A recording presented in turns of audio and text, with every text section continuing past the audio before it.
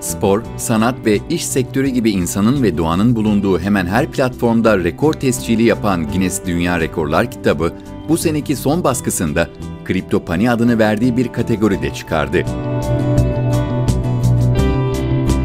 İçeriğinde kripto para evreniyle alakalı rekorların bulunacağı kategori, dijital varlıkların ve blockchain teknolojisinin son yıllarda nedenli benimsendiğini de gözler önüne seriyor.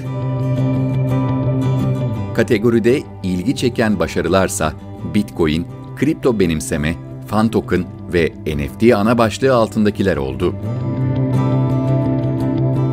Bitcoin 24 Mart 2022 itibarıyla 816 milyar dolarlık piyasa değeriyle en değerli kripto para birimi olarak listede yer aldı. Manchester City'nin Haziran 2021'de Socios aracılığıyla piyasaya çıkan token'ı 47 milyon dolarlık değeriyle en değerli fan token olarak göze çarptı. El Salvador'da 2021 Haziran ayında çıkardığı kanunla Bitcoin'i yasal ihale olarak kabul eden ilk ülke olarak adını tarihe yazdırmış oldu.